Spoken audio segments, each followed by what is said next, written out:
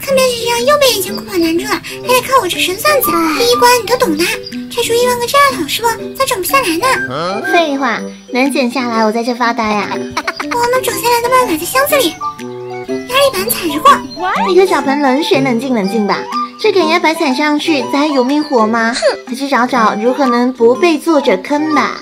很好，啥玩意也没。倒是表妹，你好像发现了不可告人的东西。嗯，而且，我又找到通关道具了，你看这是什么？咱们只要看上一声。我迟早要被你气得闹血霜出来。这不行那不行，只能看看天上的箱子了。天上有宝箱，这么高怎么取下来啊？等等，表妹你脚下有东西，是水花，一定是还有什么没发现的。果然是漏了个按钮。有了，别看啦，乘坐电梯就能够拿到拆弹手套，原来真的是要拆出一颗炸弹。那那在炸弹拆过去呢，固然是能够把炸弹卸下来。第一关通关，小妹妹咋啦？你还真的想要拆一颗炸药桶啊？一路过去，剩下的就别理他了，跟着我走就行。有了，通关的赶鸭板，直接通关。这题是，表姐好像有滴滴滴的声音。没事，作者呢是想送我们一份大礼和太阳肩并肩。作者你可真够狠的，只有拆除完炸药桶才能够找到第二把钥匙。别写终日打雁，今天被雁折瞎了眼，关键时刻还得我这边宝刀出场。天会下雨咋啦？下过雨就不出门了嘛？这下的是流星雨、冰雹雨，咱们上当了。是吧是吧？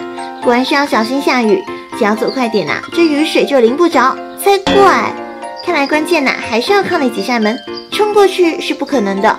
躲进雨水淋不着的地方，还是绰绰有余的。表妹，手快点，你都快嗝屁了。这里有三个角色：铁门僵尸、灭霸手套、铁桶僵尸，选啥好呢？还能选啥？僵尸能顶用拿灭霸。大姐，你看我变成灭霸，打个响指保准通关。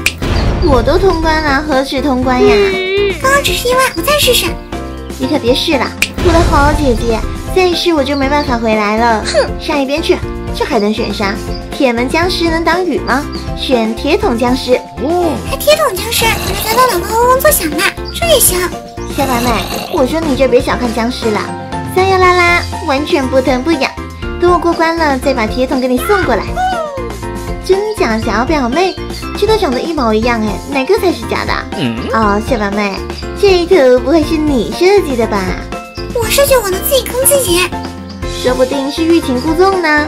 你先试试，这个看起来好像是个假的。我怎么闪电啦？我好像被雷劈了。没有，是你看错了。我知道了，猜错了对方会受到惩罚，我来坑你。怎么受伤的还是我？嗯，多谢作者不杀之恩。我是不信了，这次倒霉是我，会不会不一样？照这样下去啊，这表妹迟早得疯了。先冷静冷静，肯定是有什么不同的。你看啊，这个戴个眼镜。一看是有猫腻，我视力二点零，哪来的眼镜？让你扮演我？有个眼镜，说不定戴上它就能够分辨真假嘞。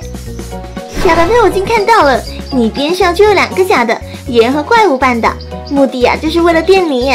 对对对，只要把他们都清除了就通关了。晚上要先生才欺负野人战，你可别欺负野人了。现在站在咱们面前的虚空领主、羽蛇神和石巨人。咋？我大黑龙能约黑龙过来，黑龙不配是吧？先削死他。等等我，分明就是欺负黑龙一家，我这拳头是替他们出的，根本就打不疼，还是要以智取胜啊！这周围整点啥呢？发现我手的荧光棒了，别上的哪一个打三个，迪迦，你身上没有光，迪迦出不来的。你来你来，我来就我来，迪迦。呃，我知道了，迪迦被禁了，出不来，咱们只能够继承光，代替他战斗，走，替黑龙给讨个公道。所有迪迦的十万生命只好光的力量，三拳两脚。经过一场实力悬殊的搏斗，咱们替黑龙讨下公道。